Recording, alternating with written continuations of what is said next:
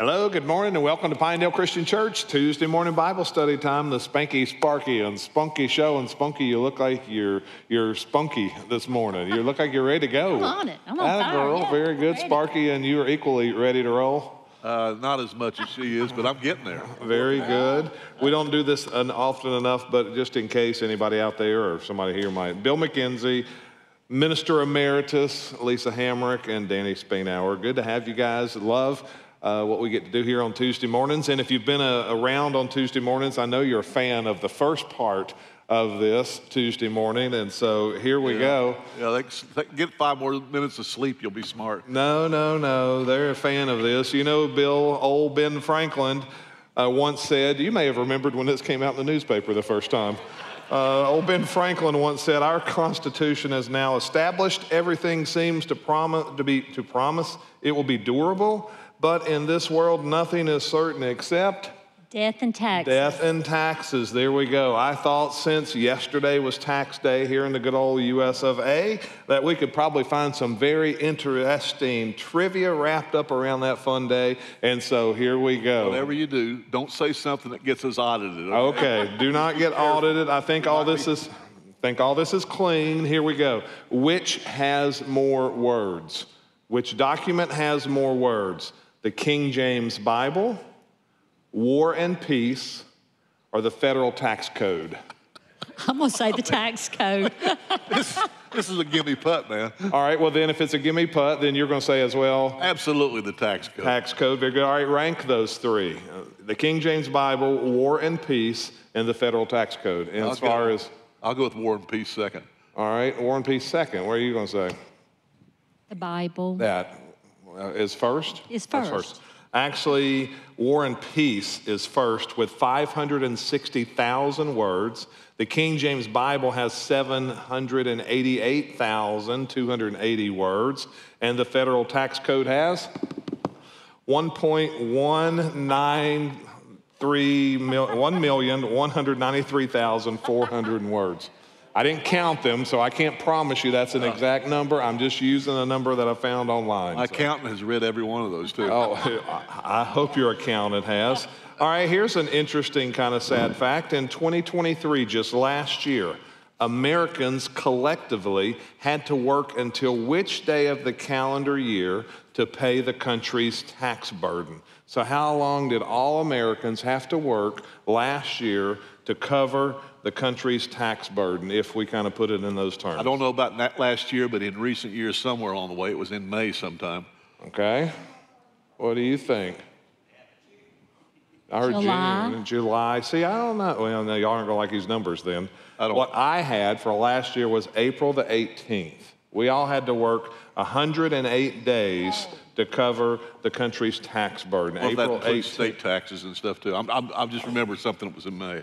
I don't remember about. I didn't look at that. That was according to the Tax They have, they- Foundation. they have a day in which they announce it and so on. It's like happy tax-free day. For Right. The rest of the year, you're I can ask you this question by a state by state basis which state residents had to work the longest? Which state's residents had to work the longest? So, who has the most taxes in the U.S.? Uh, New York or California. California. Somebody said it, New York. There you go. New York had to work till May the 3rd. And who had the least amount of taxes? Who got finished first as far as working for the man? Alaska. Ah, very good. March 25th, Alaska. Don't mess with him. He is on. How many states do not have income tax? Well, I don't know that one. There's nine of them. could name a I'm- I'm sorry. There's nine of them. And I could ask you these questions, but I'll just go ahead and give you the answers. Here we go. In New Mexico, you don't have to pay taxes if you're over 100 years old. You get to 100, move to New Mexico, and there you go. Uh, wow. What state has a blueberry tax? A blueberry tax? A blueberry tax, yes. Somebody's already said it. Maine. Blueberries are so important to its agricultural economy, the state of Maine imposes a special tax on blueberries and it helps avoid over harvesting. All right, and this is one you'd never guess which state has a playing card tax. So if you buy a deck of cards, who's going to tax you? I'll take a wild guess at Nevada. That's everybody's guess, but that's not it. For some reason, it's the state of Alabama. It's the only state in the United States that charges an extra 10 cents tax on a deck of playing cards. All right? But wait, that's not it. There's more. In the state of New York, once your bagel is sliced, it's considered prepared food and is subject to sales tax. So if you go to New York, take your bagel whole, all right? But wait, there's more. While disposable diapers are subject to sales tax in Wisconsin, cloth diapers are not. In Texas, cowboy boots are exempt from sales tax, hiking boots are not. U.S. citizens didn't pay federal income tax until the Civil War. And finally, cigarette tax is the third highest tax paid by Americans. And I saw this quote and thought it was funny. Cigarettes tax is the third highest amount to, uh, of tax paid by Americans, followed closely by court fees and taxes paid to obtain dog license. In other words, we're just a bunch of smoking, law breaking dog lovers. so there you go. And if you think, hang on, and if you think our taxes You are bad, stop. You got to laugh, man. You should. I know. Here's one more. He's, he's on it. up until February 2021, if you think our taxes are bad, up until February 2021, tax fraud was a capital offense and punishable by death in China. So don't mess with our taxes. Aren't that bad, folks? There you go. Hey, Jeff, could you all cut a song out because we've used a little while here on Danny's opening stupid stuff. No, I want him to make a song saying we're a smoking, law-breaking dog lover.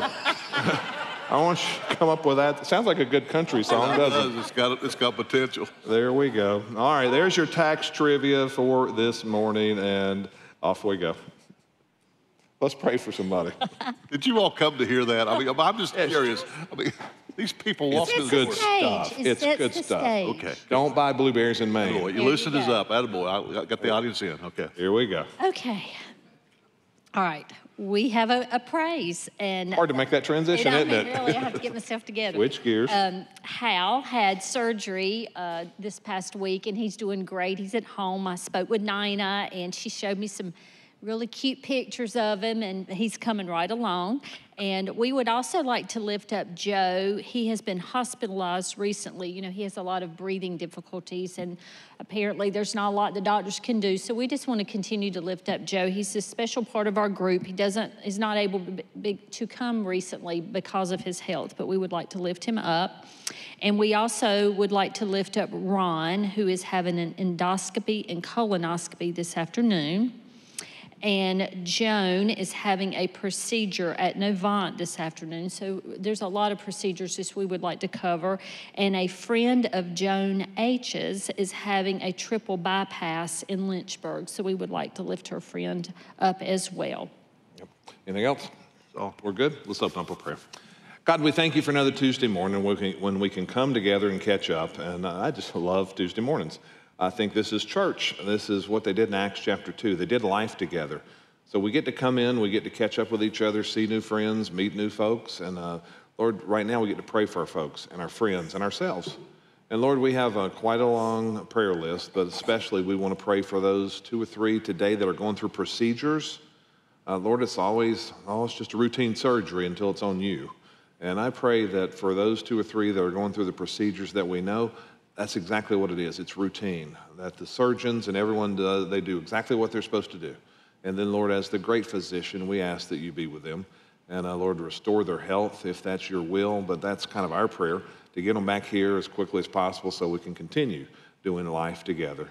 Lord, I thank you for just this time of year when um, kind of spring and turning and changing seasons, reminding us you're still on the throne, you're still in control, you're still watching after us. And for that, Lord, we're thankful. And so this morning, Lord, as we come, I just pray that we can kind of set everything aside. Uh, maybe this past week's been tough, and Lord, just help us to set that aside. Maybe we've got some things coming up this next week that we're worried about, but Lord, help us just to set all that aside and for the next while, just worship and focus on you. God, you're so good to us, and for that we're thankful, and we want to worship you right now. So, Lord, will you be with us this morning as we worship you now in song around the table and then as we dive into your word? God, we love you. It's in Jesus' name we pray all these things this morning. Amen. Well, good morning, everyone. Uh, we hope that you're wide awake, but we're going to start off today. We're going to have you stand, and we want you to put your hands together because we're going to play through this first song one time before we start singing. So stand up, and uh, if you don't put your hands together, we may have you come up and sing with us. We don't know. So I'm going to be watching. All right? Okay, let's let's Let's put our hands together and let's worship.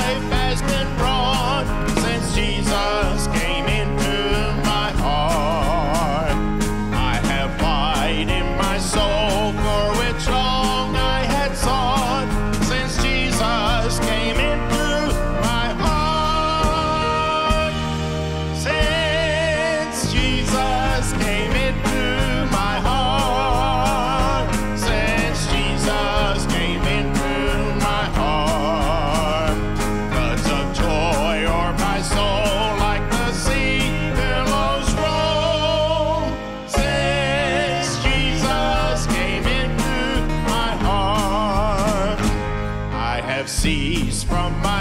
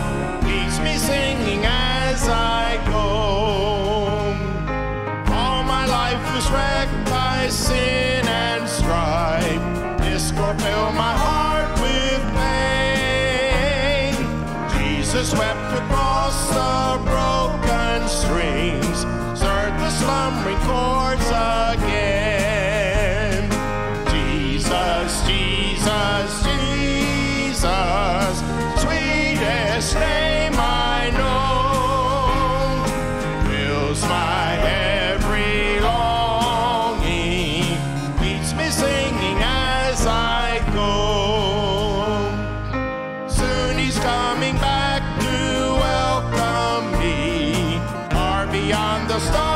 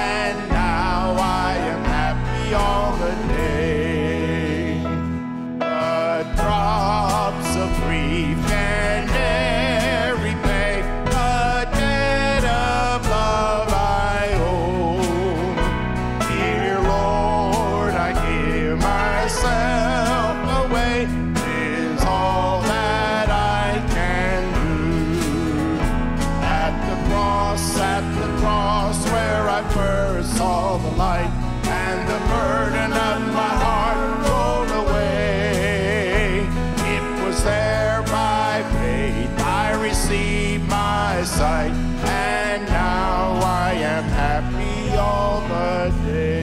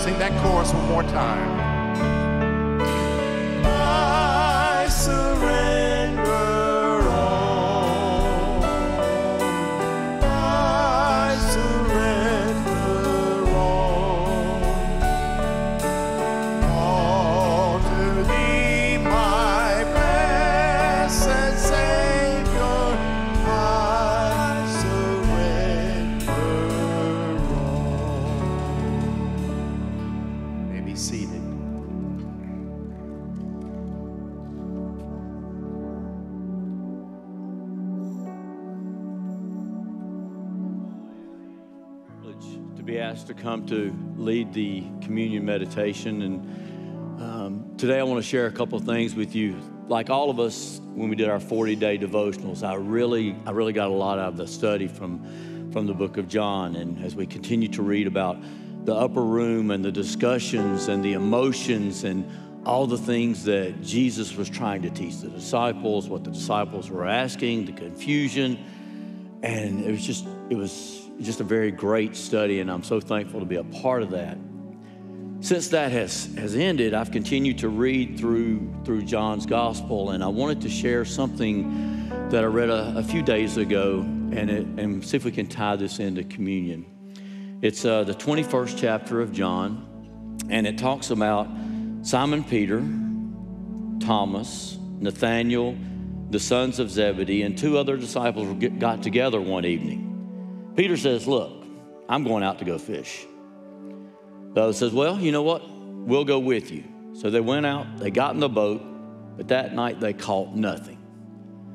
So, ladies, I'm getting ready to give you a secret that the guys don't want you to know about us.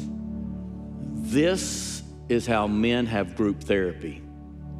You know, they went out, they did an activity they were comfortable doing with people they were really comfortable with. And I really don't think it was just to go pick up some fish. You see, you got to remember, they had just seen Jesus accused, tried, wrongly convicted, crucified, buried, and then the resurrection. But this part of the scripture doesn't say anything about Jesus was there during this conversation. So you got these disciples, these guys that's been together through the most life changing event in the world. And Peter says, Look, I, am going fishing. And his buddy says, We're going with you. So can you imagine five or six guys in a boat on the water for several hours? And it says they caught nothing. Well, what do you figure the guys did during all this? Unlike what ladies probably don't think happened, there probably was a lot of conversations going on. There was probably a lot of questions. What did Jesus mean by this? Well, do you think he really said this? And see, unlike us, if we've got questions, we got the Bible we can go back and refer to. What exactly did Jesus say? It's not like they could look at John and say, John, roll back the scroll a few bit and tell us exactly what he said. They've got to think, did he really say that? What did he mean by that? They're out here fishing.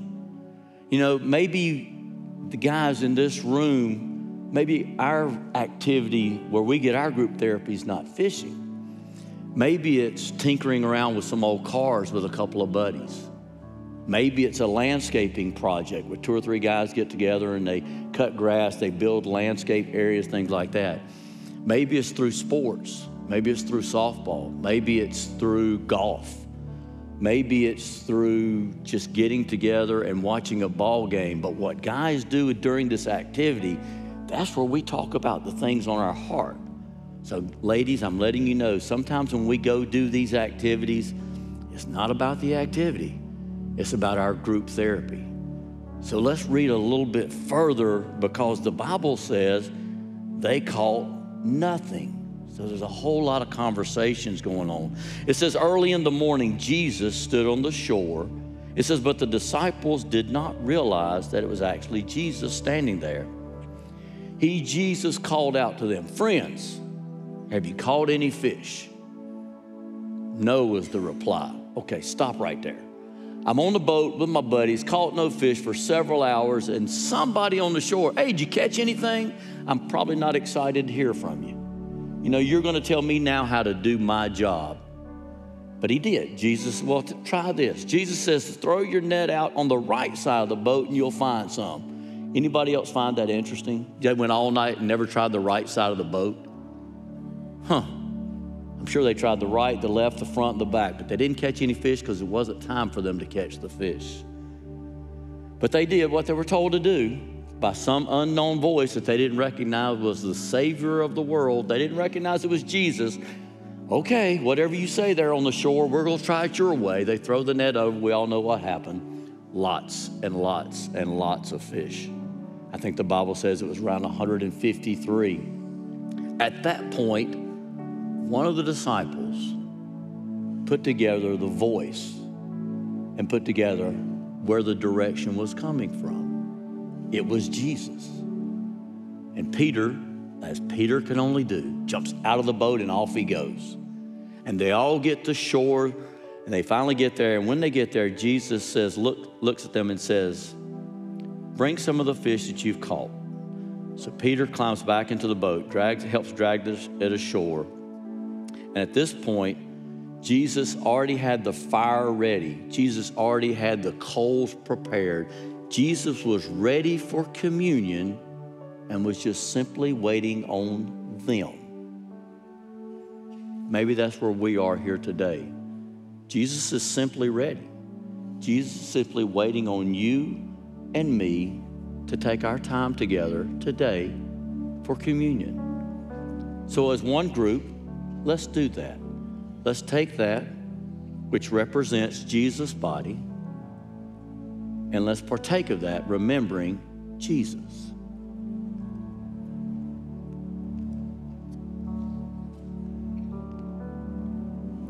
And now the juice, which represents his life giving, sin forgiving blood.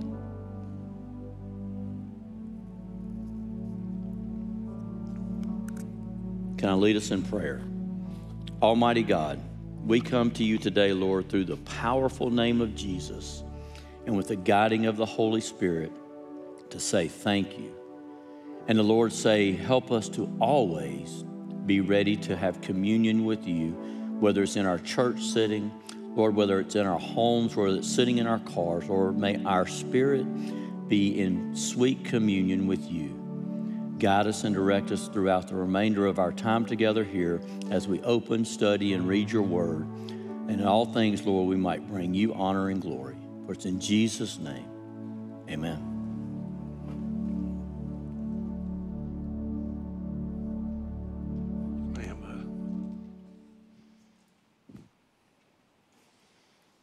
Uh, all right, first of all, great, awesome, well done, sir. Thank you, Tracy for leading us to communion time. Excellent. I did have a problem with it. What would you? He's what telling secrets. He's telling secrets. He's telling all the boys' secrets to the girls. Well, we're supposed to keep that stuff quiet, Tracy. Come on, man. That's awesome. Well that done, is kind sir. of dangerous, isn't it? I know. Marcy's not listening. well done, sir. Well done, well done, well done. All right, we ready to roll? We are ready so. to roll. Here we go. Tuesday afternoons, I send an update out with some slides from this morning. I send our prayer list out. I send announcements out. If you'd like to get on that list and you're not on that list, if you'll send me an email at dspainhour at pinedale.org or pinedale.church, uh, it'll get here and say, hey, put me on the list. I'll put you on the list. Or there's my cell phone number, or you can call the church office and we'll be happy to get you on that update list. So that's that. Two or three things I want to announce. Uh, when you came in, uh, you probably saw a copy of our directory. Here's a, a, black and white just so I can remind myself of it. But we are uh, a couple, I hope, a couple weeks away from publishing our directory pretty much for our Tuesday morning crew. And uh, so if you would please, if you haven't already checked it, we printed this one off so you could look at your picture and see if you're pretty enough. I, there's no more hope for you, sir. We'd started to just put Marcy and the dog. We want that picture, actually. We want, we want Marcy and Rip. Rip, and that we're going to put that one in the directory for you. Getting ready to have a facelift and a few other things altered. Do you think that will help? Then we won't recognize you. It's like, who's that guy? But anyway, look in the book back there. Look at your picture. Look at the address and the phone number. That's what we really want you to look at. Email address, phone number, and all that good stuff. Make sure everything's correct because we're getting ready to print this thing. Every year we print this thing. As soon as we hand it out, it's messed up. But we're trying. And also, there is a local service directory. A lot of times we get phone calls about, hey, do we know a good this or know a good that in the church? and we're putting that together and that book's out there as well if you if you have a service that you provide you can put that in that book. And um, what i hope to do is put these two together and then hand them out in a couple of weeks. So that's that. The directory. If you're new you're welcome to put your name in there and we'll get your picture and all that good stuff. So just kind of stop by there on the way out if you don't mind because this is about two weeks away from being printed. Uh, and then the final thing is uh, that i have is uh, renew in the smokies. This is Senior adult, for me, it's summer camp for big kids. And uh, it is coming up. We're going May 27th through June 31st, and I have to send the registration in next week. So we're here. I can go through next Tuesday, and I need to send it in. But uh, we have, I think, 16 signed up now. If you're interested in this, it is a great week of Bible study and worship time on a beautiful campus. Uh, we leave here on a Monday morning, go up. It starts Monday night. And then Tuesday, Wednesday, and Thursday, it's a full day of Bible studies. And they have a concert coming this year. And then in the afternoon, you're free and they have hiking trips and different things, or you can just go take a nap. So, whatever you want to do. And then we come home on Friday. But it is a great week. If you'd like to go or you have questions about it, let me know. But that's coming up. Uh, the deadline to sign up for that is coming up, and uh, we need to do that by next Tuesday. So, I wanted to remind you of that. So, good stuff going on there. I think that's it. We had a great time at the Wolford House last Thursday. We took uh, 30 people up and uh, sang all these songs we knew.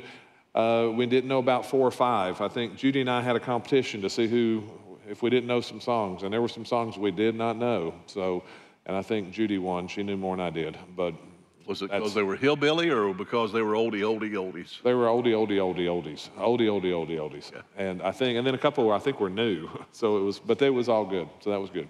So I had a good time. I, I heard a few other comments from it too. Everybody seemed to have a great time and so on. And, yep behaved for a change and so on? Uh, pretty much behaved. I'm, uh, when we drove up, there was a, a, Baptist bus and I think uh, one other church bus. And I said, y'all just blend in with them and don't, don't, you know, we'll just, if somebody asks you where you're from, say First Baptist. You saw them on the, on the highway or, or? No, they were there at the place with us. They were at the Wolford House with us. And I said, just act like them. So we were all good. yeah. It was all good. We had fun. Time. That's always good advice. Yeah. When in doubt, deflect. All right, you done? I am done. All right, let's let me get you started and us started and so on, whatever. All right, I'm gonna call this one of the best things I saw last week, and it's not one of the best things I saw last week, except you have to see it through the eyes that I'm looking at it, and that is this. I know you all were watching on the uh, the news this past week when. Uh, war, in a sense, moved uh, closer to the edge as far as the Middle East is concerned. They're already certainly in, involved in war, but, but uh, this past week, uh, one bright night, uh, the nation of Iran decided that they were going to pick a fight with Israel, and they were doing it under the disguise of, of the uh, event that had happened where some of the terrorists that had links to Iran uh, had been killed in a bombing, especially one that was a leader of their military uh, in Iran and so on. Not, not the leader, but one of them, and, and other things that were part of that. But if you paid attention to the news this past week, uh, this, was, this was real because what we now have is not just you know them dealing with the, the people that are living inside their own country, their own territory, and so on and the different factions that are, that are involved with what has been going on with the terrorists and the so on the last six months. And now we turn around and, and we've got Iran sticking their nose into the business, and I don't know where it goes from here. But here's what I loved about it, okay? A few things. Number one, um, it, it, certainly, it certainly was cool to see the fact that they sent, well, in fact, let me just go to this slide right here. Over 300 ballistic missiles and drone missiles were launched from inside Iran's border and they flew, they've launched them over top of Iraq and over top of, you know, Syria and so on, and, and into the nation of Israel, which is, that's, that's about as close to being a war that, you know, you fired a shot and we, we fire back as it can be, except for the fact virtually everything that was fired at Israel was intercepted before entering the country's territory, according to the IDF. And it was reported there was very little damage from the attack. One sad thing was when they shot them down, and they shot them down with the anti-ballistic, you know, uh, devices and so on. That, to be honest with you, the United States has pretty much provided to Israel. That's where where they got the uh, the weapons that they used to protect themselves. Part of the part of the way that we have supported them over the time. But that you can see in the picture here, those lights are, are after there has been impact and, and drones and, and ballistic missiles and so on that have been fired were all shot down. I say all shot down, they say 99%. And I don't know where the 1% went. Apparently, it didn't do anything that, that was worth reporting in the news and so on, except for the fact that it was one seven year old girl who was killed by shrapnel, which is sad. And that certainly is something that for that family and even for that nation and so on, that means something. But the bigger picture is this is that the demonstration of this was, was such to, to say two things to me. This is my ears watching the news. I'm not, I'm, nobody asked me to give my opinion. I'm going to do it anyway. All right, number one, my, my opinion on this, number one is this, is isn't it cool that this kind of technology exists in order to protect from people that are attacking I like that. I mean, I like this very much, and I like the fact that we're supported Israel, you know, as far as this weaponry is concerned, or anti-weaponry, and uh, it, it's certainly something we ought, we ought to tip our hat to. The second thing, piece of to it is, is this. Is this is where my second coming Bible knowledge and all this kind of stuff and going in my own personal interpretations. It's not doctrine here at this church, but one of the things, my opinion is, is that the closer we get to the end, the hotter it's going to get over Israel because Israel is going to be the focal point. Is the way I read the Revelation and other scriptures and so on, they're going to be the focal point of the world as far as news is concerned, and it's going to be red hot of people that are going to be trying to destroy them. And of course, once if you believe in the rapture as I do, that will precede these kinds of moments and so on. After that, I mean, literally, it all breaks loose, and, and the, the Antichrist is involved, and, and everything else that you can imagine. There's all kinds of different interpretations about there's a, a, a fake peace that happens. And, but the point is, Israel is going to be in the headlines in the last days. It's almost for sure. I mean, that's, that's the way the Bible seems like it leaves us. And you say, okay, we already know that, and so on, except for the fact that every time I see this get escalated, because this right now, when you have a country that has, that has nukes, like Iran does. And, and, and when you get that and other weaponry that'll be able, they can deliver the damage. We now know that they can deliver, they got the ability to do it, and also the ability to shoot them down as long as they're not nuclear warheads. Can you imagine what that would be if that was involved? And you keep adding all the other issues of this that are side things. And my personal interpretation is we're getting really close. I mean, I just believe that we're living, we're on the doorstep to the return of Christ. And uh, all, that, all that brings me back to this one point that every time I see this, this, this graphic that shows a, a, true picture of what was going on over top of this country, of God's chosen people who, by the way, if they don't know Christ as Savior, are lost. They are not saved if they are not saved by the blood of Jesus Christ, and they have had to give their heart to Christ like all of us had to do. But these people are still part of, under a covenant from God, and God is going to protect them to the end. And these people will be, the Jews are going to be involved in last day events. And I, I, always immediately tune into this. You've, you've heard me say this before, but you can actually do it yourself. If you don't have the address, we'll send it out again. But you can go, and on the days that it works, some days they've been shutting it down lately for whatever reasons. And, uh, but this is a live shot. This is not live right now, but it was 5 o'clock this morning. I took that picture off, a screenshot off my computer, and it shows you the western wall of the, of the foundation of the old temple that was destroyed in 70 AD and this, this wall and so on is the only place really that Israel has access to anything that used to, used to have anything to do with the Temple Mount and with, of course, the temple of, of God that, that stood on, on this property. And they can't go inside because the Muslims took over over the years. And so when peace was made back in, the, in 47 when they moved back in and also in 65 and all these different peace treaties they've done, they have pretty much been told by the United Nations and so on, they've been told you, you, you've got the country, you got the city, it's all under your control, Israel, except for the Temple Mount. It still belongs to the Muslims because they built these holy places, this Golden Dome, which is part of the, of, of the story of, of Muhammad, who is their Jesus. And Muhammad, of course, this is the place where he was raptured from the earth and taken up to, to glory, and he was taught by Allah uh, truths and deep, deep uh, seated uh, doctrines and so on, that he was then sent back to earth, and this is where he ascended back down to the place where that gold dome is, the, the, the rock that, that is inside of it is the very place where his feet left the ground and came back, according to their story. And, uh, and so, therefore, this is protected territory.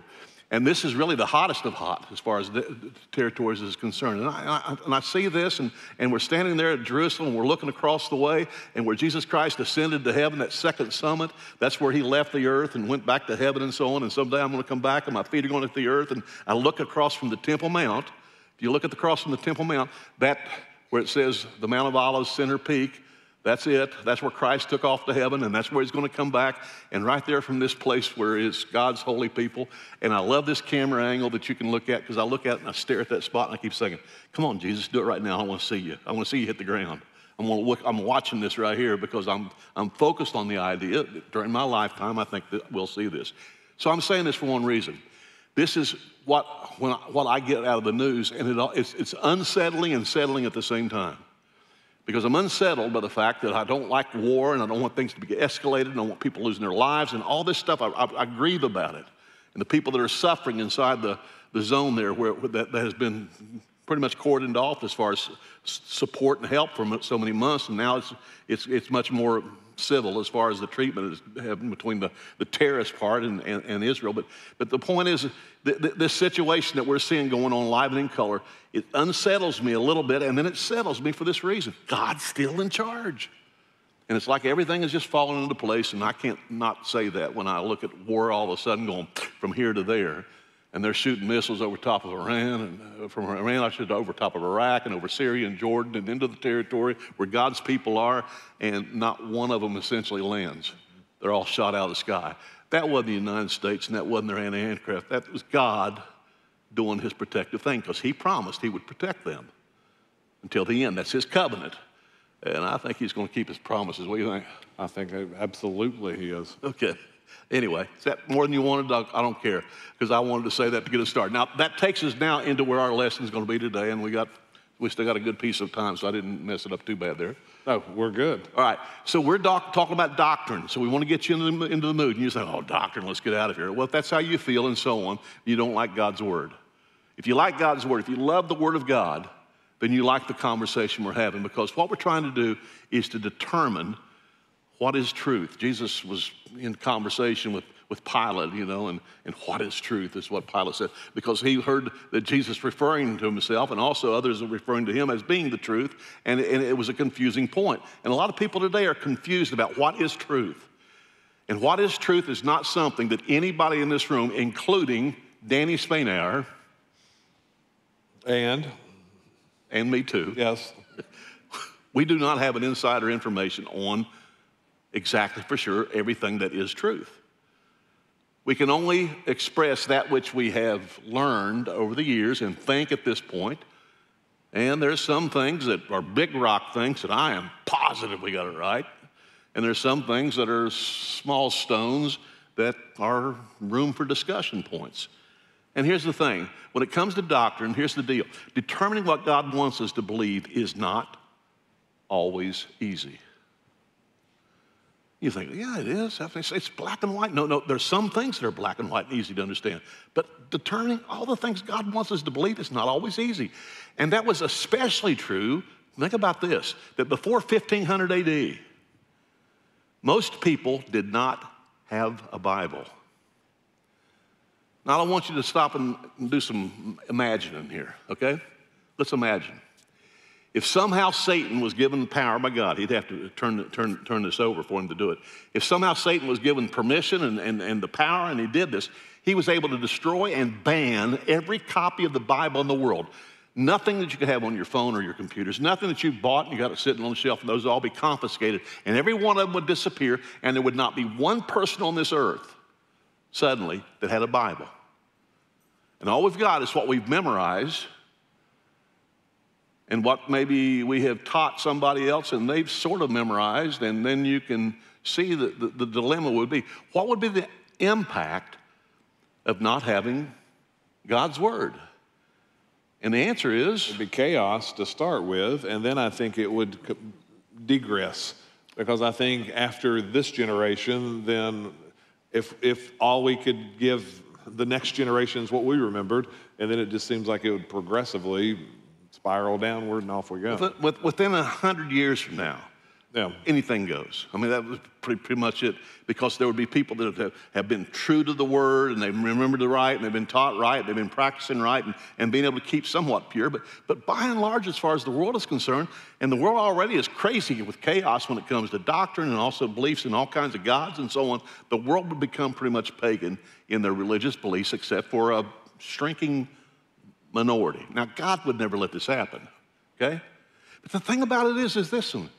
He did for 1,500 years.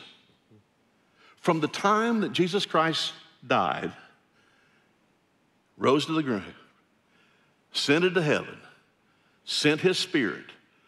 The disciples were given the Holy Spirit and they were given the challenge go out and spread the word, the truth. Teach doctrine, is what they're doing. They're teaching the doctrine of grace and mercy and love of God and all those things. They go back and, and preach the truth, preach the word. And they were preaching it, and the only way anybody could determine if they're telling the truth or not is if they listen and say, That sounds like truth. Oh, no, wait. They also were able to validate it with not only gifts of the Spirit to be able to speak the truth and, and be given knowledge and so on, but also they're working miracles. And the miracles they're working are validating the truths that they're teaching which means people would say, well, obviously this is from God. It's like Jesus. Nobody could speak like you speak, Jesus, Nicodemus told him. And nobody could be like you, Jesus, and walk the way you are. The, the, the, the, Roman soldier at the cross said, surely this man was the Son of God. And all he had was that one snapshot of Mount Calvary and the way Christ went through death. And he knows, this is a God. This man is truly the Son of God, as he claimed, and so on. That, that, that's, that, that was the way it was validated in the first months and years, as far as it's concerned. But here's the problem if you lived not in Jerusalem, if you lived in Samaria, if you lived in Turkey, if you lived in Rome, the further you got away from home base, the less resources there were. Now, there were, there were copies of the letters that were written by the Apostle Paul and others, and, and of, of, the Gospels and so on. There were copies uh, of, of the original documents that were written down and, and passed around. So there were some copies of the Bible or, or, the truth that were spread around, but they didn't have it all bound in one volume. They didn't have all the history of the Old Testament to, to compare it to. And think about all the resources we can have on, on, online right now of commentaries and, and, and listening to somebody. If you want to, you can listen to a video today of one of the best Bible teachers you can think of in the whole country. You can listen to them teach on a topic that you choose. All these resources of learning, and they didn't have any of that. All they had was that they heard the truth, they believed in it, they had faith in it, they followed what they were told to do in order to be right with God, and then they started trying to live like they were being told that they should do. They didn't get, get it home and so on and, and have a little, let's study God's Word. Everybody open your Bible to John the 14th. They didn't have that, but we've got that. But they didn't. What do you think the impact would be? It would be tough. That's the reason why, over the years, smart people, at least they thought they were smart, sometimes they were and sometimes they weren't. Smart people who were religious leaders started doing things like, for example, they wrote down creeds. And the word creed is to believe. it, it, it is a summation of part of what they believe and also a summation of what they think that you should believe. And what you should believe became a product of that because it was decided by religious leaders. We'll get to that in just a second. And the Apostles' Creed is sort of like the Nicene Creed that we read together out loud, and we're not going to do that one again today. We're just going to look at this. But the Apostles' Creed is a shortened version that was pretty much something that was done and, and has been adopted more by the Protestant world than certainly than, than the Roman Catholic world. Because the Apostles' Creed says this, and I'm going to let Danny read it and so on. You got it, sir? Take it All through. Right. I believe in God the Father Almighty, One. creator of heaven and earth, Two. and in Jesus Christ, Three. his only Son, our Lord, Four. who was conceived by the Holy Spirit, Five. born of the Virgin Mary, Six. suffered under Pontius Pilate, was crucified, Seven. died, and was buried. Eight. He descended into hell on the third day, and descended to hell. On the third day, he rose again from the dead. There's ten. He ascended into heaven Eleven. and is seated at the right hand of God the Father Twelve. Almighty. From there, he will come to judge the living and the dead. Thirteen. I believe in the Holy Spirit, the Holy Catholic Church, Fourteen. the communion of saints, Fifteen. the forgiveness of sins, Sixteen. the resurrection of the body, and life everlasting. 17. And Amen. And I, I, I counted as I went through this 17 doctrines that are taught in the Apostles' Creed or ref, referenced in the Apostles' Creed, and that you might be able to get more out of it and so on. It's not a sacred number here. I'm getting this point. That creed was given for people to memorize because it's not 87 chapters long and having all this uh, uh, words that you couldn't understand. It was written in simple terms and it was expressed in simple ways. And if you've been taught and led to Christ and you have some foundation of faith in light of the stories of Jesus, then these verses the, the, these stanzas make sense. And I don't want to go back and talk about he descended to hell and all this sort of thing. Don't, we're not going there. What we want to say is this one point. This is what they did. They gave them, gave them something people could memorize. And if someone would say, well, what do you believe about Jesus? Well, let me tell you what I believe about Jesus. I believe that I believe in God, the Almighty Father, the creator of the heavens and the universe and so on. And Jesus Christ was his, his son, our Lord, was, who was conceived of the Holy Spirit. In other words, he was born of a virgin. And he went through life and so on, and he was perfect. He never sinned and so on. And he suffered under Pontius Pilate. Uh, in fact, they, they condemned him to be crucified even though he was innocent. And, and he died, and they buried him, and he was gone, except he wasn't gone because on the third day he rose from the dead. You could take this, if you had it memorized, and you can repeat the story that saves us. And you can preach it to other people and testify to other people and so on, these points, which is why it was handy to have the Apostles' Creed. Because pretty much I, I, agree with everything in there and so on. And there's a couple of things I would want to say, well, you have to understand what they're trying to say here, or maybe how I interpret that. But by and large, this is something that's healthy. It is not unhealthy to write down your beliefs and teach your beliefs to other people. It's not unhealthy. It's a good thing. We do that in Sunday school. We do it in worship service.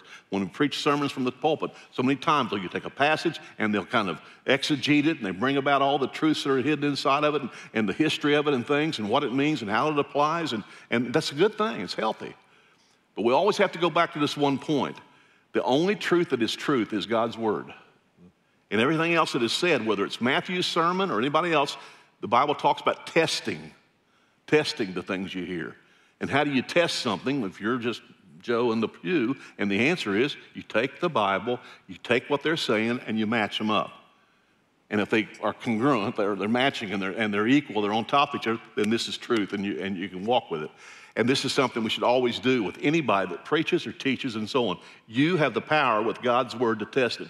But people in the past did not, which led to and left open the door for chaos. This is the way I look at this, and this is, this is our collaboration here that the doctrine of most Christians is determined by four things. What you believe and so on is determined by four things. And when we say doctrine, we're talking about our faith, things we believe about God and our relationship with Him and so on, and then practice, which also is beliefs, but it's faith that is demonstrated by the actions we do, like worshiping and obeying the laws of God and His truths and so on, and, and not sinning and so on, and, and serving others and loving others and so on. This, this is the practice of the faith. And so the doctrine that we should be doing and so on should be determined by truth. Well, how do people determine truth?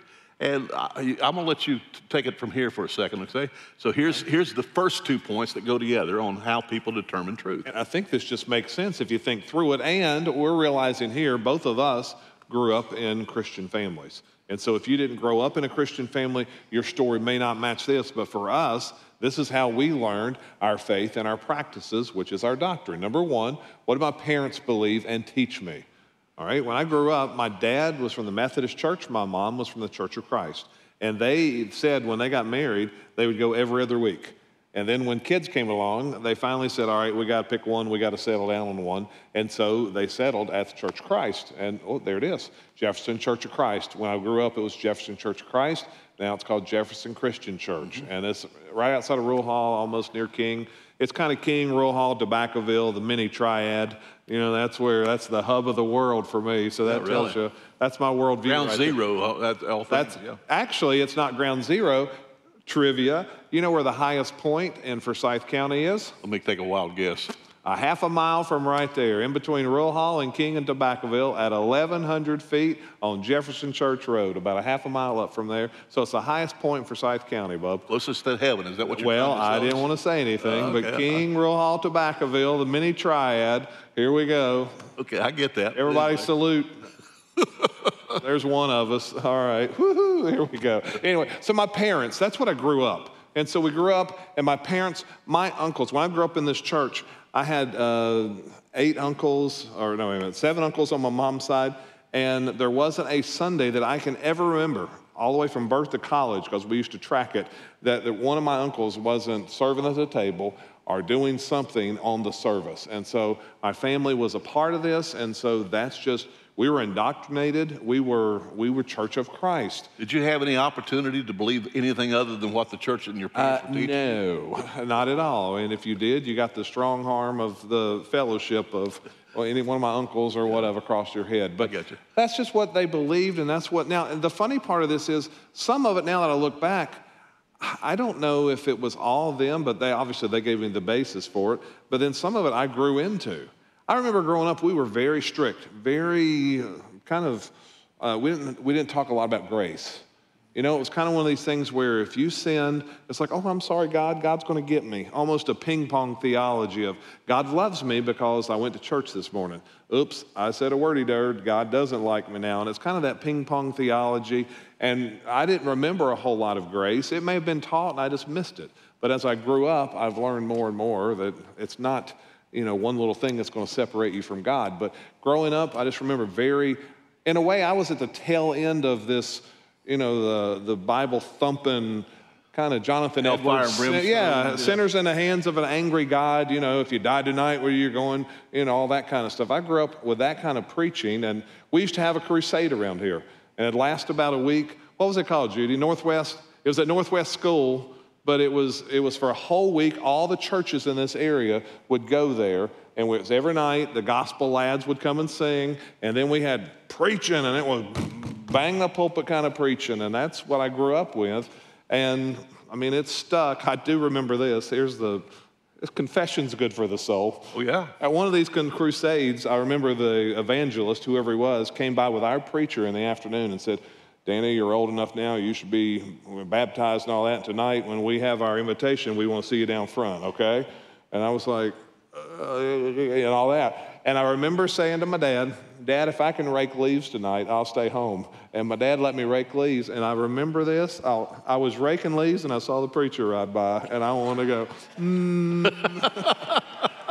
like, you're not going to tell me to come down front. But I, anyway, that was what we grew up and it stuck. I mean, that's so Church of Christ is just everything I've always known. I was born on a Sunday, I was in a Church of Christ the next Sunday. So literally, it's been there. So my parents, my extended family, they taught me the basis of what I believed. And do I still agree? As I've grown up, I think I've learned more and moved a little more um, from the strict, strict to, um, I think, a better place. Um, here's a funny, and my mom's watching, so I have to be careful when I say this. Hi, Mama. Yeah, I know. Hey, mom, I love you, and I'm not telling on you right now, but I can't even look at her. but I remember when mom came down here, uh, and we had a baptism, and our teens clapped. You know, our teens kind of started that. They went to a youth rally and came home, and so now when we have baptisms here at Pinedale, you know, everybody claps, and it's celebrating, and we should because our teens brought that to the church. But I remember mom afterwards said, Do y'all clap at all baptisms? And I'm like, Well, yeah, we do clap at all baptisms because when I grew up, as soon as you were baptized and came out of the water, now I belong, to, Jesus. You had to sing that song to everybody. And if there was eight people being baptized, one would go down and one would come up. Now I belong to Jesus. And then the second one would go down come up. Now I belong. You had to, after every one, that was kind of validation, but that was the tradition. And so when my mom came down here and we were clapping, it was just different and nothing wrong with it. But so we move, and I think we can move on some of the things that we've been taught, but the big rocks, it's all there, that's for sure. All right, now I, I, I like what you did with all this for, for this reason. You, you gave you gave the foundation. How many of you, by the way, in whether it's the Christian church or some other church, grew up in that kind of an environment where you had parents that taught you, and you went to church, and by the time you were a 12 year old and beyond, and so on, you'd been schooled and you knew the Lord or, or had a pretty good handle on things, and so on. How, how many of you like that? I know I was that way. A lot of hands. So there's a lot of people that were raised to, to, uh, in faith, which I like, and so on. And it doesn't have to be the same same church and so on, but you were you certainly were started out the right direction. I appreciate that very much.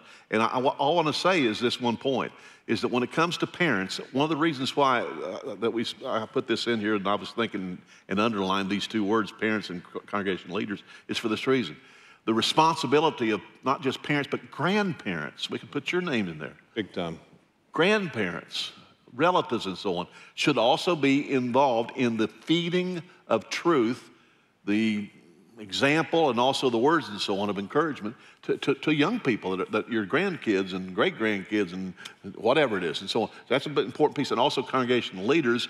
The, the, the more you are a congregation leader, it almost doubles your ability and authority over the family that you have at home and so on. And see, anyway. for me, yeah, for me, both of the, those were the same the, my parents and my family were the congregational leaders. Yeah. And so, I mean, I, I, had the same story. I mean, as, yeah. as, we've talked about it and so on. I grew up in Chillicothe, for Ohio for a little while at Bridge Street Church of Christ, and that's what it looked like. I'm, I'm in that picture somewhere. And also below is what it looks like today. They've torn it down. They've built another building. It's a nice looking building and so on. It looks like they're about the same size as they were. I also then we moved to Portsmouth, Ohio when I was in the second grade and until I was a junior in high school. That's the church we attended. It's where I was baptized and, and, and other things and so on that, were, that formed my faith. And, uh, and the, the thing about it is, uh, they've torn the thing down. In fact, it was, I, I, look, I went up to Google Maps, and whenever they went by, and, you know, they take these pictures of all the, this is what they've got. And so on. They, they got the places. I want to go get me a brick. I want to. I'm sorry, Billy. Is, yeah. Oh, by the way, I lived in Portsmouth, Ohio, and one of the things when I was searching for these pictures and found them pretty easy, also from Portsmouth, I got this. Krispy Kreme donuts. I remember this was right a category to, to, to you're saying they don't spell it right. You see that, Danny? I know. We're KK. That's not. All right, and I want you. This is what I want you to know. True story. Wait a minute. The original, that's not the original. Wait a minute. What's the map? What, what's the date underneath of it? 19 and 29. You know what time, what, what, what year that Krispy Kreme with the K's started? 1934. They were thinking about it in 1928. They might have been, but they didn't do it yet. And that's the reason why the best donut in Ohio. No, it's not true. I just remember that. Was, okay, get off that. Let's get back to the point. So, so there's another thing that comes in. This is the aspect that brings in what churches teach. You know, back up. I thought this was what you, the point you were going to make here was about false doctrine or something. You got to be careful. so anyway, I, I, part of my problem right here is Krispy Kreme donuts. Right, Doesn't matter if it was Portsmouth or here. All, all right, right, let's get go. Okay, okay, let's keep going. Sorry. All right, now what does uh, what's our, our denomination teach? And we you you already know this is a non-denominational church. So keep that in mind as we talk about this the churches that are like this and so on, because Danny and I grew up in three different states apart from each other and so on. And yet, I had the same doctrine that was taught to me and so on as he had taught at Jefferson. I mean, I had the same experience because we had things in common where it came to where our preachers were trained and, and, and so on. There was, there was a, a likeness in our, what we call it, our brotherhood, brotherhood, I should say. Kind of, of funny, churches. we call it a brotherhood, and yet we call them our sister churches. Yeah. So a brotherhood and our sister churches. That anyway. is true, isn't it? Huh? It is. Yeah. Well, that's my, the smartest thing I ever heard you say. I, I'm just, I just, well, when we got on donuts, my brain kicked in, and just, I started slobbering a little bit. Stunned me, man. You, that's, you've been hiding stuff. I know. It's like a family. Here we go. Brotherhood, sisterhood. We're all good. okay. Anyway, but the, what a denomination teaches and so on can be very influential. And you would know this better uh, than, than we would know it if you've had this experience that you grew up in a church with your parents, your congregation was this, the, uh, your loved ones, and so on, and that's where you were formed. And then later on, whether it was because of marriage, whether it was because you moved to another town, and so on, you went to a different kind of church. And so you were raised, let's, let's say you were raised Methodist and you went to a place and there was not a Methodist church, you know, this city that was any, worth anything, but there was this Presbyterian church or a Baptist church or whatever, and you started attending it. And when you started attending that, then what the congregation leaders believed and taught was being fed to you, and also what the denomination itself said were the important points and the way that they handled communion and the way they did baptism and the way they did all kinds of different things all of a sudden became things that you were challenged with. And my point is this is that doctrine, when it comes to this kind of situation, can change in you. Why should you ever change your mind? Well, let's keep moving here. What, what, what, what did I do here? I did something wrong. No, you're good. I sp- no, I, I, actually, I don't have the. Uh, I won't skip that. Let's go to this one right here. This is what I want to do. I'm looking at the clock. I got you. Right. What do I, in my heart, personally believe and practice is what it all comes down to. Sooner or later, you have to reach the point where you are able to assimilate in your own heart and life what it is you've come to decide that you ought to believe. And this approach to doctrine, these four points, is the reason why people's faith and practice and churches, even denominations themselves, change over the course of time. What was believed, uh, I'm going to use again an example. What was believed by a Methodist, say, because we, we talked about this last week a little bit. What was believed by the Methodist Church 200 years ago, 100 years ago, 50 years ago, 20 years ago, what it believes today, in some churches, not all of them, because a lot of them are protested because they're opposed to what we talked about last week. But it changed over these years, and it's changed in a lot of other people's lives. Let's not just pick on that one denomination. It's changed in everybody's churches to some degree. Even in this one, we've had, we've had a, a, a, have discussions and so on that have to do with the, the new sexuality and rules and all the things that goes with this. And the approach to doctrine over the years and the faith and practice that a church does And the faith and the practice that you and yourself, yourself have personally decided to do can change. And sometimes it was good change. Sometimes it's not good change, which is where we take ourselves to the point. You see, the Bible gives us the parameters of doctrine. But then it's up to us to figure out God's will. When I say us, starts with me individually. I am responsible for myself. I'm also, because I'm a daddy, responsible to my family. Also, because I attend a church, forget about I'm a preacher, I'm a, you know, I attend a church. I'm a member of the church, and, and so the leadership of the church has, has to be on. There's a lot, of st- a lot of different levels here that gets involved when we start using the parameters of doctrine, but figuring out what God's will is. And we're not going to read all these, okay? We're just going to reference them and so on. But from the book of Acts, which we consider to be the, the, the photograph of, of what we should be today. Some, uh, some, somebody else coined this phrase, and I like it, and you've probably heard it before that a river is, is purest at, it, at its source. And as it flows along, it gets polluted. But its source up in the mountains, you, if you've ever come in in the mountains and you saw a, a, spring coming out of the ground, you could put your cup up there and take a drink, and it's safe because, almost without exception, because of the fact you're, you're at the source as far as the. Well, the same thing was true with God's word and the gospel. It was pure on the day of Pentecost and the days that came right after that.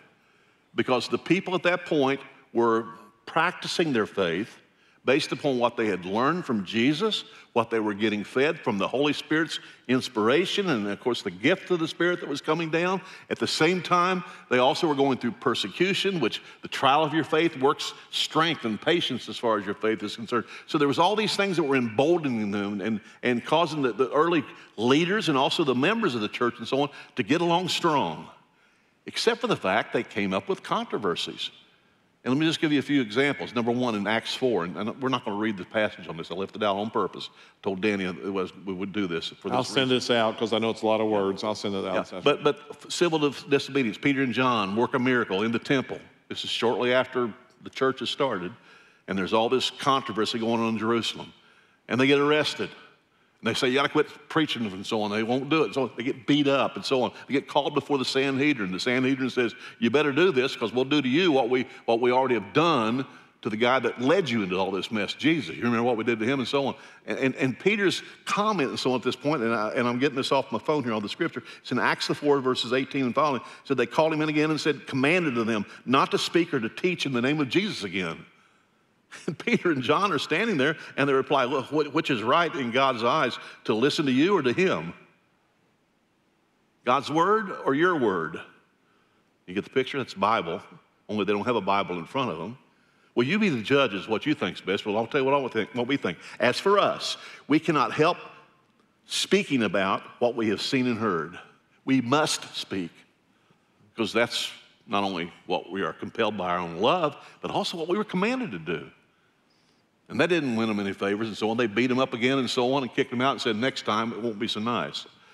Also, in, Acts, the sixth chapter, in the church, there came up a, a, controversy. The controversy was they had a mixture of people who had a background as Greeks and also a background of Jews who were widows, and they had to have a benevolence ministry to take care of them because of all the problems that were being created by selling out to Christ, and the church was having to deal with social welfare of their own body, people that were believers now, because they were being disbanded and discarded by their own families, much less society. And so the Greek widows were not getting the equal shares because, after all, they came from Gentile backgrounds and they weren't really cared for equally and so on. And God sent down the word and said, This is not right, and so on. And what they had to do was they developed the ministry of deacons. And the word deacons started is in Acts, the sixth chapter, when they appointed seven men full of the Holy Spirit to oversee the ministry of welfare to the entire body of people that needed, especially to widows and inclusive to anybody else, and so on. This is a point of a controversy that had developed, and they answered it and then left us an example that we follow today. Our Dollar Club. There we go. And the ministry of deacons. And yeah, ministry of deacons and missions, and yeah. I mean, it's a lot of stuff going on here. Yeah, a lot of a lot of gospel preaching that's always done when it comes to missions, but also there's a lot of caring for people through, uh, through, through love and so on, and then earning the right to be heard for the gospel. And I, know I'm trying to say this one point on this. The word deacon means servant. And so that's the reason why elders in our church We'll, we'll talk about the leadership someday. But eldership in our church, they are overseers and they have authority. Deacons in our church don't have authority. We don't have board meetings where they vote on how, what, the church needs to do and so on. Deacons instead are a responsibility, not an authority, but a responsibility to love and to minister to people and to lead ministries of, of, of the hearts and so on, which is what they do. And we have a great team of deacons and people who are, who are women that are attached with it and so on. And all I can say to you is, is we have a ministry of welfare that is emulating what was done in Acts 6. So, in other words, it's a doctrine. It's a doctrine of how you care for needs inside the church. Acts the seventh chapter, not the stoning of Stephen. You know, people, people came out of that saying, where, where was Jesus? And they had to scatter and run for their lives and so on because Stephen was stoned. And he was someone that stood tall for Jesus Christ. And he, what's he, what's he get for it? What's he get for standing up for Christ? He gets stoned to death. And he dies, and his family is in grief, and the church is all this is the first martyr, you know, as far as, and, and everybody's freaking out about it and so on. And they start running for their faith. And I tell you what, it created chaos in the church that they had to work for years in order to kind of bring it back the, the semblance of peace in people's hearts to understand this is what we're all called to. And here's why. And a lot of people said, if that's what you're selling me, I thought heaven was what you were selling me. If you're selling me this, a lot of people fell away as far as the faith is concerned. Now, my point's this all these different ones, you can go read the stories of it and so on. Each one of them were controversies that did not exist in Acts 2 on the day of Pentecost. They did not exist in Acts 3 when after the 3,000 were baptized and the church is now continuing steadfastly in the apostles' doctrine, the breaking of bread and prayer, fellowship, day to day, they're meeting together, breaking bread, and all these things are going on in the body life of the church. They did not have any controversy. They were all on the same page.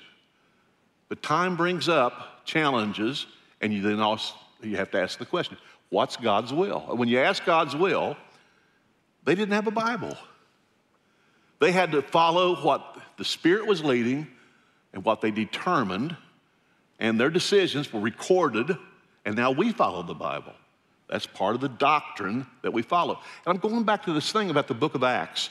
Because I think when it comes to our doctrine and what you believe and I believe and so on, the place for us to always know that we're standing on firm ground is anything that Jesus taught during the four Gospels and whatever is displayed and followed in the book of Acts. That is the foundation of a church that has good doctrine. Now, what did I just do? I personally, because of that, I personally don't have much respect for denomination conventions that debate and come up with new doctrine, whether it's in the, the, the Catholic side of the aisle or whether it's in some of the Protestant church side of the aisle. I don't have much respect for that because I think God's word should be more, more perpendicular instead of majority rules. Not think, really, it's not really debatable. God right. said it, let's do it. Don't really debate it. And if God didn't say it, and if He hasn't revealed it, then that shouldn't be a law. It shouldn't be taught. It ought to be something that's founded and, and based upon what is the teachings of Jesus. We have those in the four Gospels. What is the teachings of the Apostle Paul? Because he went through and, and churches that had tr- problems and so on, and he, and he one by one dissected them and, and gave us, you know, insights into what, and also what is true, especially in the book of Acts, which is the actions of the apostle in starting the church and what they were doing, we should be following. And if you do that, you're pretty close to the source of the water. You're getting it unpolluted, and that's one of the reasons why we emphasize this hard. If you ask us in this church what our doctrine is, you'll hear this again the next time we meet and teach. If you ask us what we teach in this church is our doctrine, the answer is what I just said God's Word, the example and teaching of Jesus Christ, and the book of Acts, or the teachings of the letters that took the church of Acts and explained the problems that they dealt, dealt with. And then Paul or James or whomever else was a Bible writer, they gave us teachings, corrections, disciplines, encouragements, good things to do, bad things to not do anymore. They gave us these things, and that's what ought to be our doctrine. If you come to this church and ask us, has anybody ever done this? Have you ever walked, when you walked into Pinedale, did you ask, well, what does this church believe? Because I got, I used to get to ask this all the time as a pastor, and I would go to people's houses, and I'd sit on their couch with them and so on, and we'd drink a, you know, a, a, an iced tea or whatever, and then we would start having a, a conversation about who is Pinedale, what do we believe? And when I would go back and do these kinds of things and, and talk about this in more simplistic terms, and when I was giving them this kind of this kind of an encouragement, they were encouraged. Because this is what I always said to them. And this, I'm, I'm, I'm going to make a point that we aren't going to get to today, but I want to make this point. All right, is that all right? I'm, I'm, a, I'm kind of nudging you off the, the ledge here. All right. I'm seeing, I'm seeing me going off the edge. We're okay. good. Okay. All right.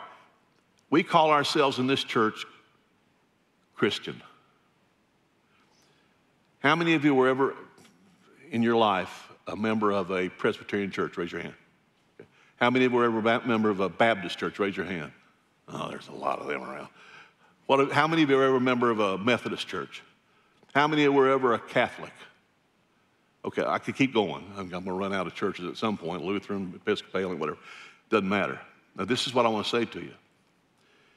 When, you, when people said, well, what, what do you believe? Or, or where do you go to church and so on? Was your identity, well, I'm an Episcopalian?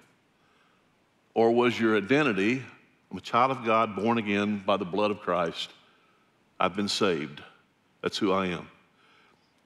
And the answer probably was in short order well, I go to Pinedale or I go to whatever church, and then the assumption is what they believed is what you believe. I would suggest to you, and I used to suggest this to people all the time, however you were raised, you'll always have a little bit of that in you. If you, especially if you were raised a Catholic in the Northeast, you're, going to, you're always going to be a Catholic.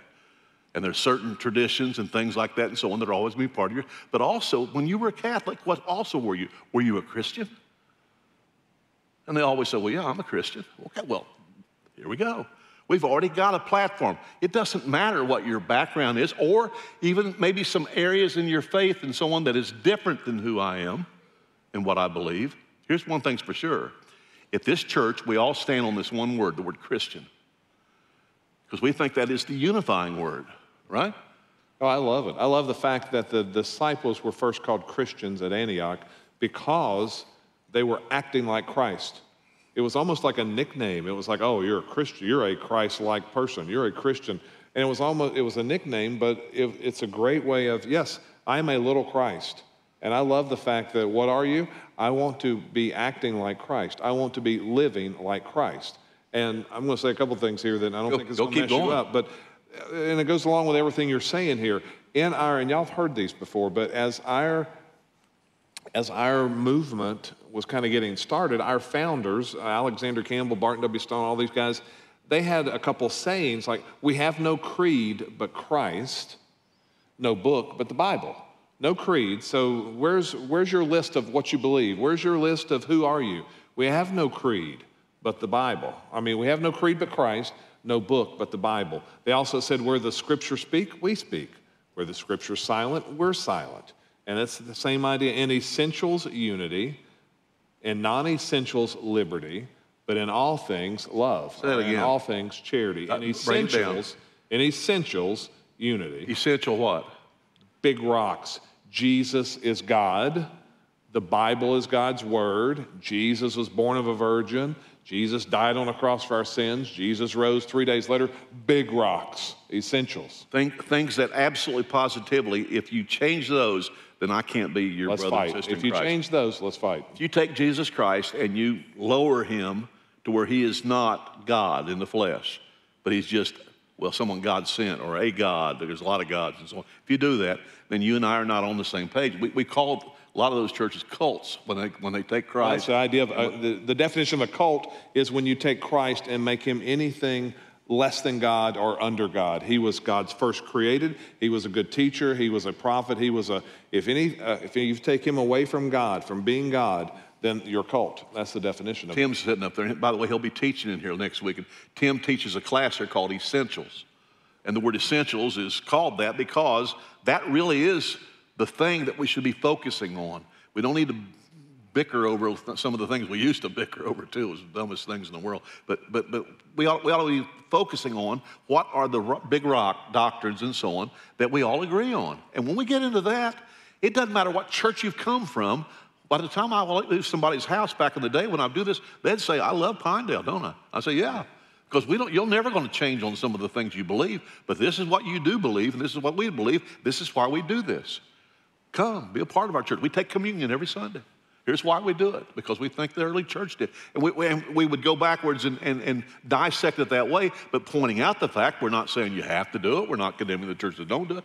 But in this sense, you know, we're, we're, we're laying down the foundation for unity in the body of Christ that comes through dark doctrine.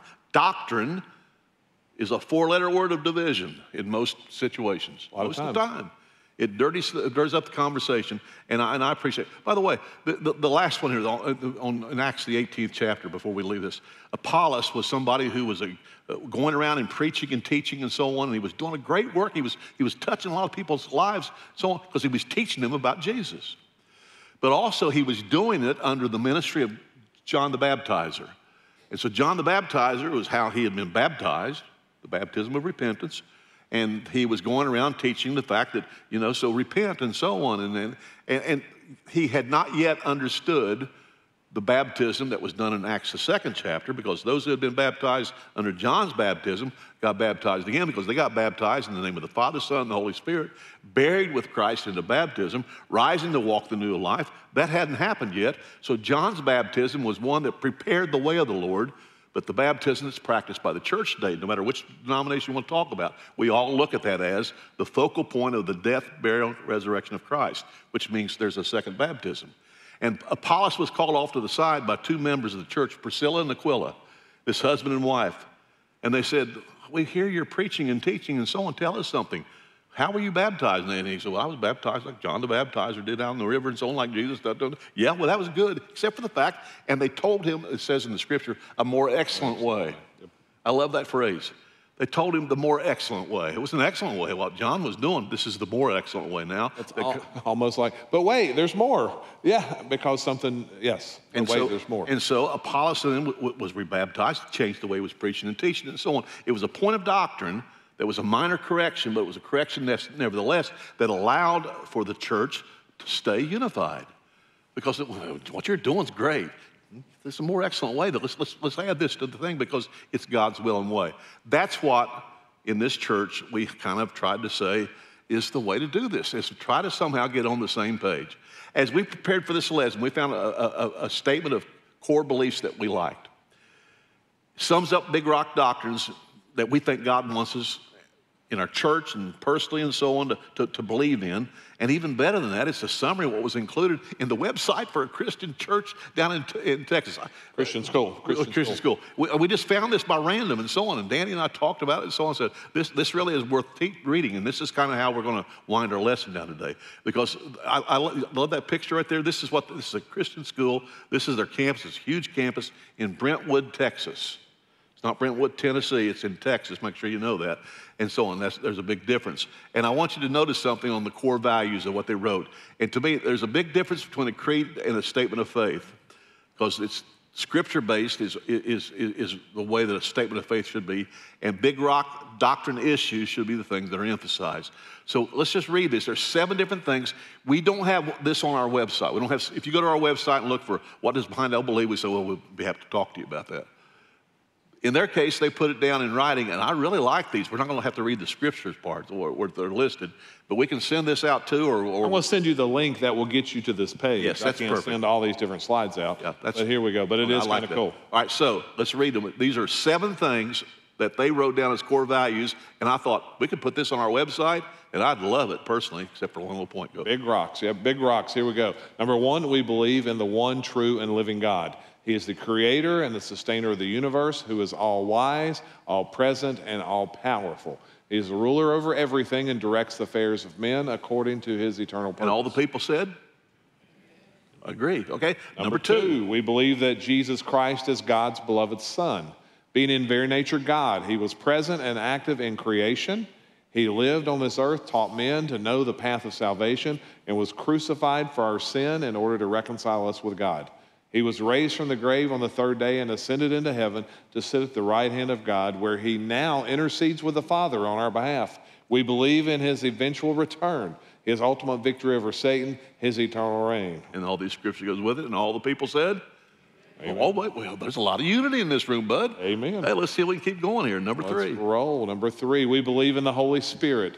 He is, the, he is one with the Father and Son and lives within the church, individually and collectively directing our minds, giving us life, empowering us to confess that Jesus is Lord, testifying that we are God's children, and interceding for us in our prayers. Says a lot right there, but I, all the people said?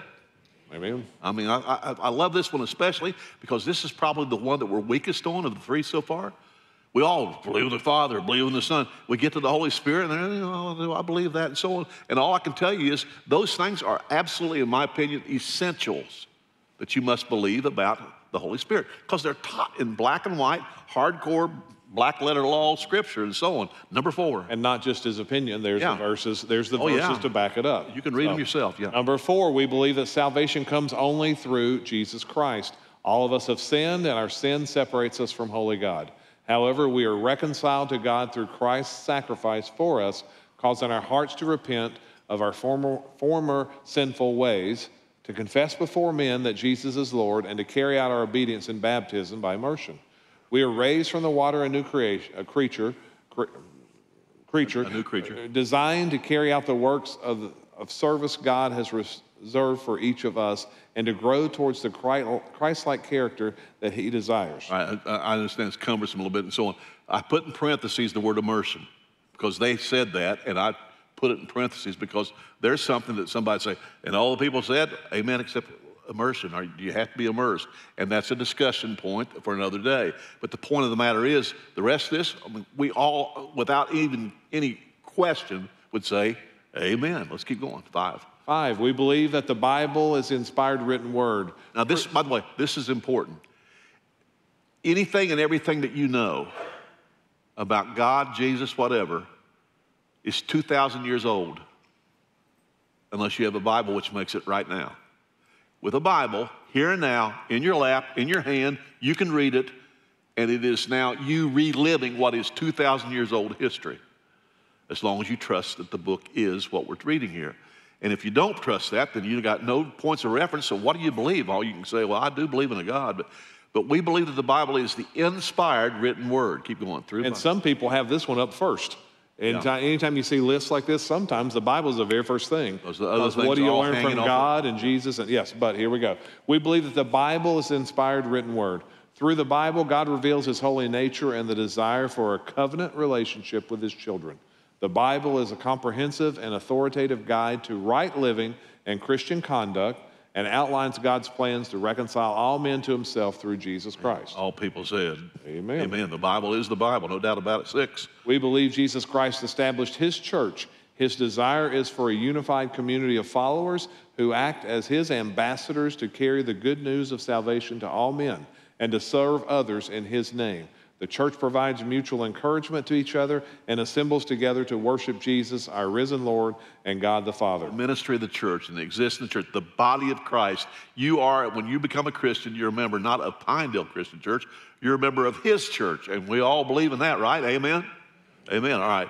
Last but not least, number seven. We believe that Jesus Christ will return. A judgment of all men's actions and intentions will take place, and those who have faithfully served Jesus will, through his grace and mercy, live with him for all eternity in heaven. And, and all people said, Amen. except you shouldn't have said amen on this one.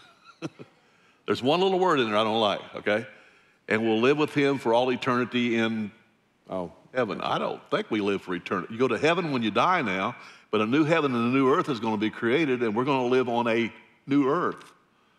That's where we're going to spend eternity. And we'll have access to heaven, but Jerusalem's going to come down onto the earth, and Jesus is going to be reigning on the throne. And uh, that's what, doesn't it say a new heaven and a new earth? So for me, doctrinally speaking, for me, I would have had to say, for all eternity, and just hit a period, and that would have been fine, because I think maybe it's not just in heaven. We're going to heaven, and then we'll be, anyway. And plus, since it's you, if anything's written, you've got to find one thing. I know. That's just your gift. All right, Danny. I, That is your gift. I, I've- I've examined you for years, and I got more than one on you. But on the uh-huh. Bible, that's on, on this on this one, that's one word I have. one of your many gifts, Pastor. stumbling point. Now, here's my point. Okay, we could put this on our website. If people read it and so on, it'd be nice to have somebody that was kind of making sure that they understood what this word meant, what this. But I, I think that's a, a safe thing that could be on any church's website that's worth attending. I don't care if it's a Methodist, Presbyterian, Christian church, Church Christ, whatever. Anything that you've ever attended and so on, these points ought to be there. Because that's what the Bible teaches. And if you don't believe those kind of things, I say, what's going on with you? And the answer is false doctrine. This is the worst thing we can have is false doctrine, and it's time for us to pray it out here. I, I see the clock. But let me say this false doctrine is not my opinion. False doctrine is when somebody teaches something that is contrary to God's opinion, which is the Word.